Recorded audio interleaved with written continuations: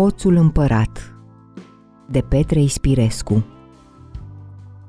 A fost odată un împărat mare și puternic. Abia la vremea cărunției dobândi și el un copil. Bucuria lui fu nespusă când se văzu și el tată și toată împărăția lui fu veselă împreună cu dânsul, căci acest împărat era bun, drept și temător de Dumnezeu.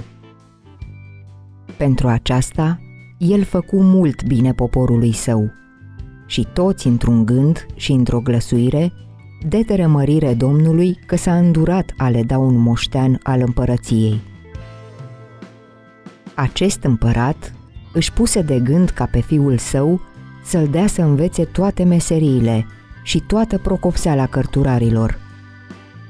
Fiul împăratului creștea într-o lună câți alții într-un an. Când fu de opt ani, părea că este de 18. Dacă văzu așa, tată său, împăratul, îl dete la carte. După ce învăță filozofia și citirea pe stele de la cei mai scusiți dascăli, îl dete la cel mai meșter vraci, de învăță și meșteșugul leacurilor. Văzând tată său împăratul că fiul său are ținere de minte grozavă și ia în cap ușor cele ce îi se arată, se umplu de mulțumire sufletească, căci Dumnezeu îi dase un copil tocmai după gândul său.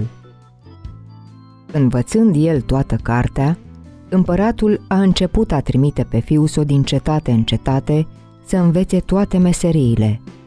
Cum auzea că în cutare cetate este vreun meșter mai dibaci și că acea meserie nu se află pe la dânsul, îndată îl trimitea să învețe și acea meserie. Astfel umblă fiul împăratului din țară în țară ca un pribeag, până ce învăță toate meseriile de pe pământ.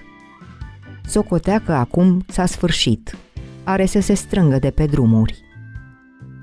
De bucurie că are un fiu așa de procopsit și iscusit, tatăl său făcu o masă mare, unde chemă pe toți împărații, vecinii lui, ca să le arate fiul său procopseala.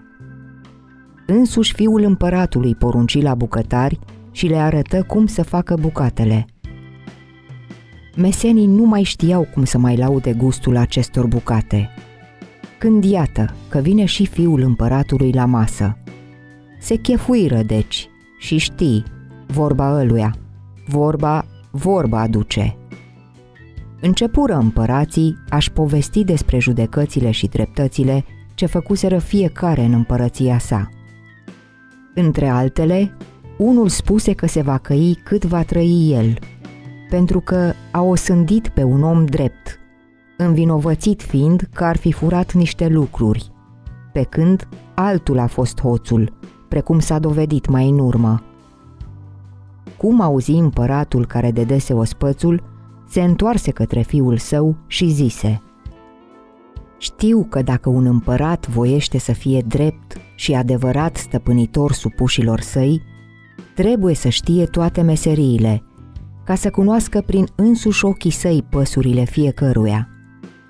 De aceea, fătul meu, te-am dat să înveți toate meșteșugurile. Nu mi-a venit în gând că și hoția este un meșteșug aceasta îți rămâne să mai înveți, după care te vei face un împărat ca Solomon împărat și cum altul nu va să mai fie pe lume. Cum de mă osândești astfel, ca pe un vinovat de codru? Răspunse fiul de împărat. Și sculându-se de la masă, se duse unde se duse el și se întoarse numai decât peste așteptarea tuturor cu o slugă a lui credincioasă, aducând niște scânduri, stinghii, drugi și pânze. Cu acestea, se apucă, ajutat de sluga lui, de clădi un fel de foișor. Gătindu-se foișorul, se urcă în trânsul și învârtind niște șuruburi și niște vârtejuri la niște meșteșuguri ce avea acest foișor, începu a pluti în vânt și pe când se tot urca, el își luă ziua bună de la toți cei de față, care rămăsăseră cu gurile căscate și cu ochii blojdiți la dânsul. Mumă sa era cât pe aci să-i vie rău, dar îți ținu firea. După ce îl pierdură din ochi, mesenii se sculară și se împrăștiară ca pui de potârniche, nemai voind a adăuga măhnirea împăratului, care se vedea de pe față că era prea mare. Fiul împăratului, după ce călători câtva timp prin văzduh, prinse a se coborâ. Ce să vezi dumneata? Orânda îl duse a se lăsa tocmai dinaintea unei cocioabe de bordei sărăcăcios. Era seară, bătu la ușă. Cei dinăuntru, o pereche de oameni jigărâți, întrebară cine e acolo?" Om bun," le răspunse fiul de împărat. Deschideți, că sunt un călător." Îi deschiseră. Când intră în bordei, el băgă de seamă că muierea aruncase ceva sub pat. Dar ce vânt te aduce pe la noi?" Sunt străin. Acum am sosit din alte împărății. Rogu-vă să mă găzduiți." Bucuroși cu ce vom putea." Vă mulțumesc," le mai zise el. Nu va fi degeaba. Dar de ce vă stingeriți din lucru? Lucrați, nu vă opriți pentru mine. Am băgat de seamă că făceați ceva când am venit. Muierea vru să îndruge câteva minciuni, dar bărbatul îi luă vorba din gură și zise Să-ți spunem drept, dumneata ești oaspetele nostru și cred că nu ne vei da pe mâna stăpânirei. Eu sunt hoț. Meseria aceasta nu mai are căutare, de când împăratul a pus niște slujbași pentru unii ca noi – abia ne mai ținem zilele cu câte o găină sau o altă pasăre ce putem să ciordim de pe aici. Și tocmai jumulea o gâscă nevastă mea când ai venit dumneata. Tocmai ce căutam și eu. Dumnezeu m-a adus la voi. Scoateți gâsca de supat și faceți-vă meșteșugul. De astăzi încolo sunt al vostru. Mă bag ucenic la dumneata, ca să mă înveți acest meșteșug și până jumuli și găti gâsca, fiul împăratului ieși afară. Își strânse foișorul, desfăcându-l din toate încheieturile și îl puse bine, unde să nu dea nimeni peste dânsul. Se puseră deci la masă și se chefuiră până ce cocoșii începură a vesti că vine alba în sat. A doua zi se înțeleseseră ei la cuvinte și fiul de împărat rămase sub ascultarea hoțului ca să învețe meșteșugul de la dânsul. Tot meșteșugul este, zise hoțul într-una din zile, să ciordești fără să te prinză cineva, să buzunărești și pe dracul, fără să te vază nici pui de om. Să n-apuce să cază și tu să găsești. Orice ți s-o părea că nu este pus bine de altul, tu să iei și să păstrezi.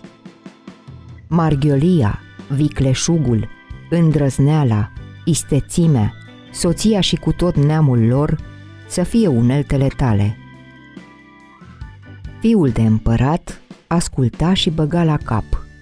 După trecerea timpului, în care fiul împăratului se îndelernicise la meșteșugul hoției, văzând el că lucrurile îi merg strună, zise – Meștere, când ai de gând să mă scoți calfă? Când mi-o furai pingeaua de pe mine. După ce mai trecu, merseră într-o zi la vânat. Acolo, în pădure, stând să facă popas, se tolăniră fiecare pe ce avea, la umbră de copaci și la răcoare. Hoțul își așternuse-i pingeaua. Deodată hoțul auzi miercăitul unui iepure – ca și când îl apucase ogarul. Se sculă, se uită prin prejur și nu vede nimic. Fiul împăratului adormise și da niște sforăieli de parcă mâna porcii. Se culcă iarăși. Nu șezu mult și tocmai când era să-l fure și pe el somnul, auzi încă o dată același miercăit și cu totul pe aproape – îndată sări drept în sus. Ce naiba, trebuie să fie ceva. mă repes să văd ce drăcovenie să fie aceea. Și fiind un crânguleț într-o depărtare cât arunci cu piatra, se duse într-acolo, de unde îi se păru lui că vine miercăitul iepurelui. Pe când se ducea hoțul, fiul împăratului se scoală binișor și pâș pâș îi ia pingeaua frumușel, o îndoiește și o ascunde într-o scorbură de copaci și iară se culcă. Acestea le făcu el mai iute decât ai gândi. Hoțul, dacă văzu că nu este nimic în crâng, dete tuturor răilor și iepure și tot și se întoarse să se odihnească. Când ea îi pingeaua de unde nu e. Se uită prin prejur și nici o frunzuliță măcar nu se mișca. Fiul împăratului horcăia de socotei că o să deștepte și pe morți. Bietul hoț rămase ca lovit de trăznet. Simți că altul n-are cine să-i fi jucat reinghiul acesta, decât ucenicul lui. Se suci, se învârti, dete târcoale, îi pingeau anuie. În cele din urmă, după ce el înnecase necazul, se duse să-și trezească ucenicul. Îl zgudui, îl scutură și abia-abia se deșteptă. Somnoros cum era și tot frecându-se la ochi, începu să se jelească că n-are parte să doarmă și el măcar un somn și că din pricina asta o să se ducă de la un asemenea stăpân, care nu-i dă răgaz cât ar dormi cineva. Oțul văzu că ucenicul lui are să-l întreacă și zise Ia, lasă astfel de vorbe, ci dă-mi pingeaua, că acum ești calfă, ai scăpat de ucenicie. Când auzi fiul împăratului de una ca aceasta, se duse într-un suflet de aduse-i pingeaua și legară amândoi tovărășie pe bine și pe rău. Începuse a mișca binișor în meseria lor, de când se făcuseră tovarăși. Vezi că fiul împăratului era mai ager la mână, mai isteț și mai îndrăzneț. Într-una din zile, feciorul de împărat se duse la vânat. Ia, așa, cam în dorul Leli, fiindcă n-avea altă treabă. Umblând el prin pădure, odată aude un grohăit de porc pe aproape de dânsul. Căută și mai iute decât ai gândi, fu și acolo. Când, ce să-i vază ochii? Un mistreț, cât toate zilele de mare, prăvălise pe un flăcău tânăr la față și se silea aș descurca colții din arcul flăcăului spre a-l sfâșia. Fiul împăratului își scoase cuțitul de vânătoare și cu un curaj nemai auzit se repede asupra mistrețului, îi înfige cuțitul drept în ochi și îl dă tumba peste cap. Îi mai dă vreo două lovituri bune în cap și îl lasă mort acolo locului. Făcu ce făcu și aduse nițică apă în căciulă, stropi pe flăcăul care leșinase și îl mai învioră. Acesta, când se deșteptă și văzu pe izbăvitorul său, zise Cerem oricât vei voi și îți voi da pentru această facere de bine. Bani au și țiganii, îi răspunse fiul de împărat, dar cinste nu. Să nu socotești că pentru bani am făcut ce am făcut eu acum pentru tine. Se rușină oarecum flăcăul cu pricina, dar mai prinzând limbă, îi spuse și retenia. Cum venise în vânătoare cu mai mulți tovarăși, cum zărise mistrețul și se luase după dânsul și cum nu-l lovise bine și el se năpustise asupra lui și îl prăvălise de era să-l trimită pe lumea cealaltă. Pasămite și acesta era fiu de împărat și încă fiul împăratului locului aceluia – se împrieteniră și se duseră la palaturile împărătești. Împăratul nu știa cum să mulțumească străinului că i-a scăpat copilul de la moarte. Îi dete voie să vină în palat oricând va voi, fiindcă el nu primi nicio altă răsplată. Străinul, fiu de împărat, de câte ori mergea la împăratul, de atâtea ori el cerceta și băga de seamă la tot ce era pe acolo – După câteva vreme, el zise odată tovarășului său. Mi s-a urât cu borfășia. Să facem și noi o hoție care să se mai simtă. Ce vrei să facem? Iaca, să mai mergem și pe la haznaua împărătească, că doar nu fi foc. Dar ce stai dumneata de vorbești, omule? Dar apoi acolo, aoleo, ce de păzitori mai sunt. Noi să mergem pe unde nu sunt păzitori. Se hotărâră și într-o noapte și plecară. Își luară și uneltele trebuincioase.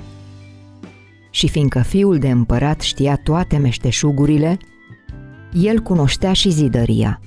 Se apucă și numai din două cazmale scoase câteva cărămizi cât ar putea omul să intre.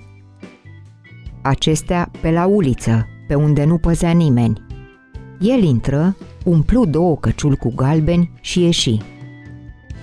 Apoi potrivi cărămizile la loc, ca să nu se cunoască pe unde au intrat. Nu se poate spune ce bucurie avură când se văzură cu atâția bani.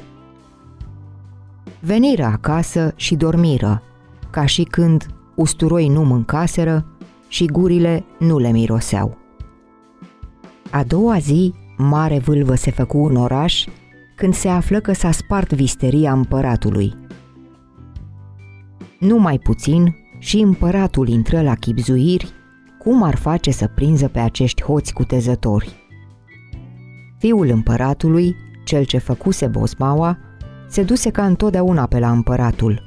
Se făcu și el că se miră de atâta cutezare și zise – cel ce a făcut o asemenea hoție îndrăsneață nu se poate să mai vie măcar încă o dată. Împăratul locului puse tot felul de paznici la visteria lui și aștepta.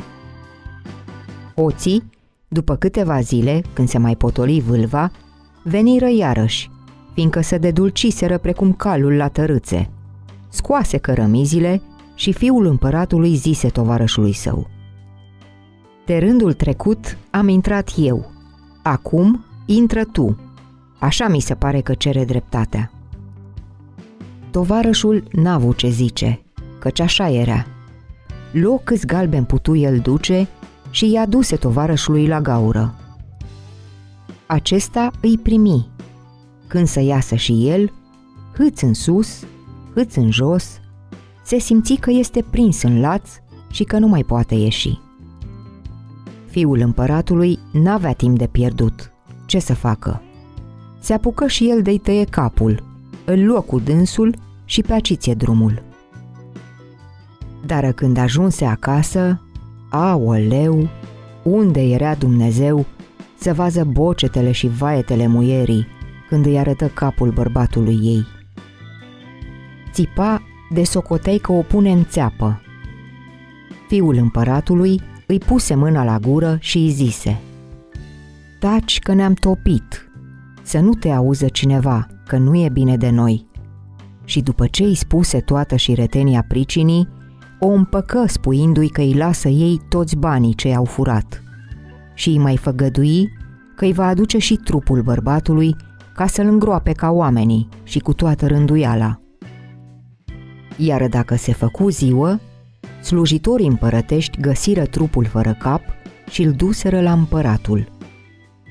Acesta se da de ceasul morții și mai multe nu. Cum să nu prinză el pe tâlhar viu și nevătămat? Fiul împăratului se duse și el pe la palat și auzind cele ce se plănuiau, se pregăti și el a ține făgăduiala ce dase nevestei tovarășului său – Sfătuind cei 12 boieri, socotiră cu mintea lor că tâlharii trebuie să fie cel puțin doi, că cel viu este peste poate să nu vie a lua și trupul mortului. Găsiră deci cu cale a pune trupul cel fără cap în mijlocul pieței, pe o schelă cu trei trepte, și de jur împrejur slujitori împărătești, care să păzească toată noaptea.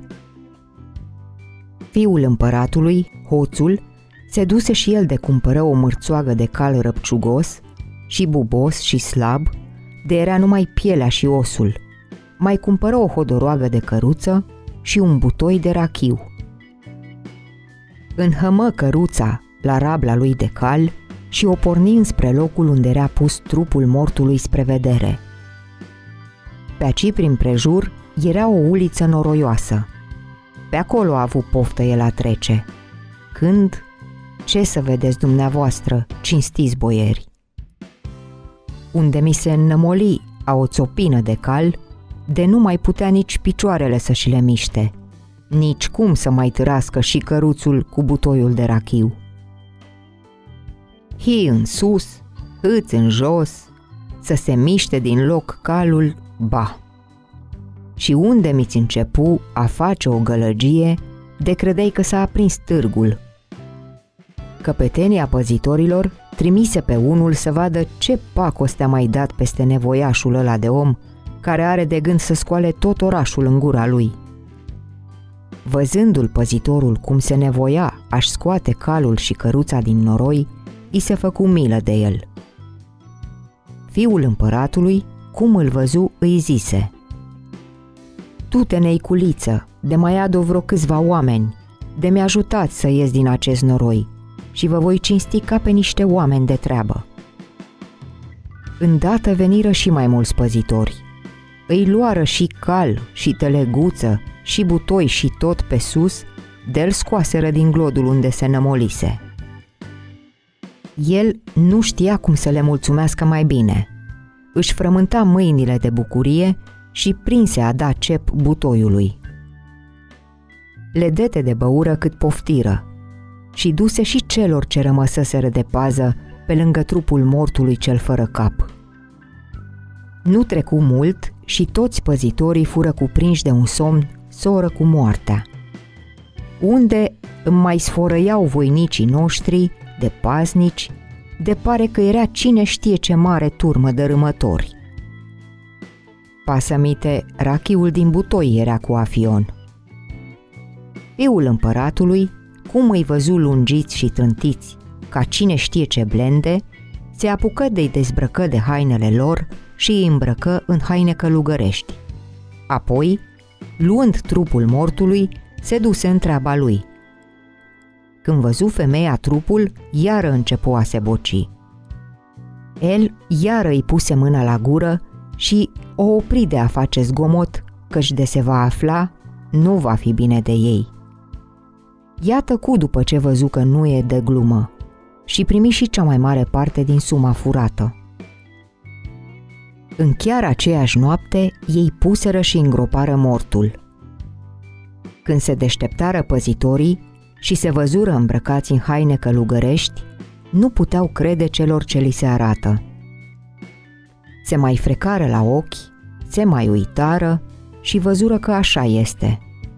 Cel ce se deșteptase mai întâi se duse la tovarășul de lângă dânsul și începând a-l înghioldi îi zise Moș călugăraș, ce cauți tu aici?" Dar tu, călugăre, ce cauți?" îi răspunse. Atunci deodată începură a răgni unul la altul. Ce cauți aici, călugăre?" arătându-se cu degetul. Și se făcu o tulburare și o răscoală între dânsii, de nu-i putea da nimeni de căpătâi. Tocmai târziu se dezmeticiră și se dumiriră că omul cu rachiul de astă noapte n-a fost lucru curat.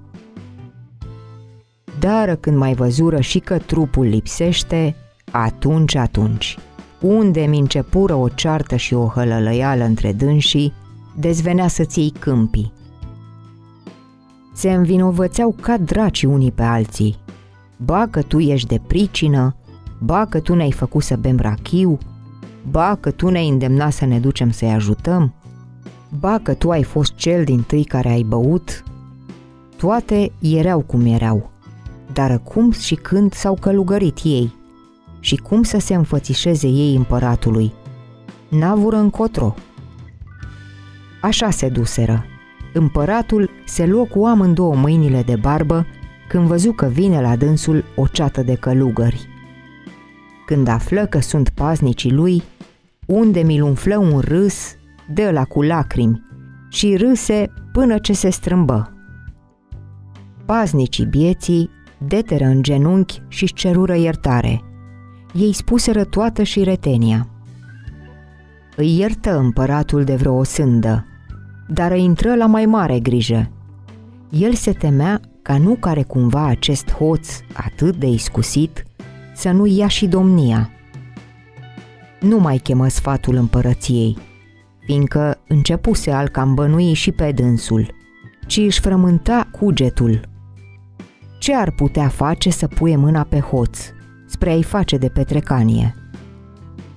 Hotărâ dară el cu mintea lui ca să-i scodească și pe mari și pe mici, să ispitească și prin boierime și prin prostime, că doar doar va ajunge să puie mâna pe un așa tâlhar vestit care îl pusese pe așa gânduri negre. Pentru aceasta, puse să se gătească un ospăț înfricoșat, la care pofti numai boierime neaușe. La acest ospăț fu poftit fără doar și poate și fiul de împărat cel străin.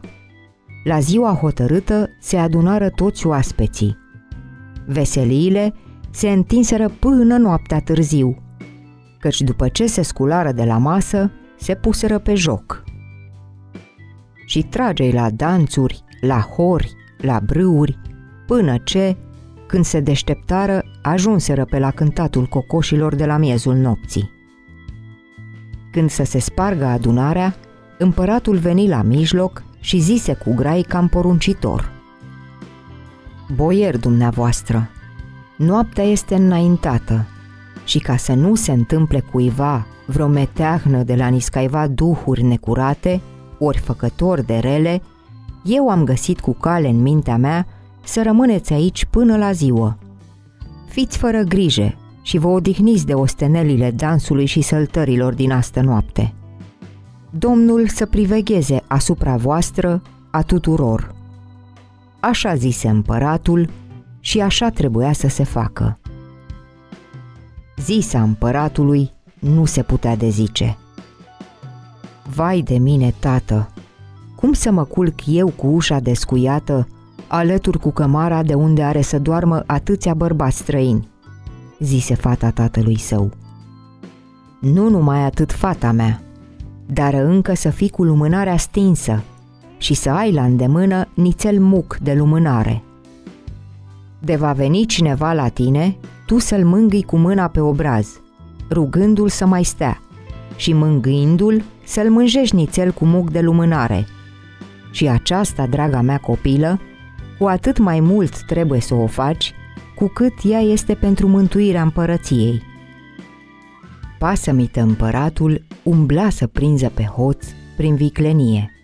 Asta fu chemarea boierilor la ospăț. Căci, îți zicea împăratul, de va fi dintre boieri un asemenea om isteț, trebuie să fie și îndrăzneț. De nu va fi dintre boieri, apoi tot cu tertipuri prin tagma prostimei să-l caut. Hotărârea împăratului se puse în lucrare în tocmai. Se culcară toți și adormiră. Numai ploapele fetei de împărat nu putură da din gene câtuși de puțin. Fiul de împărat cel hoț, nici el nu a dormi măcar cât ai da în cremene. El își tot răsucea mustața și se întreba dacă să se ducă ori ba.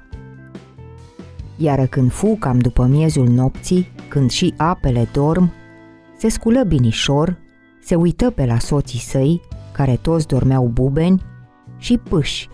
Trecu în camera fetei de împărat, o sărută și se întoarse apoi să se culce și el.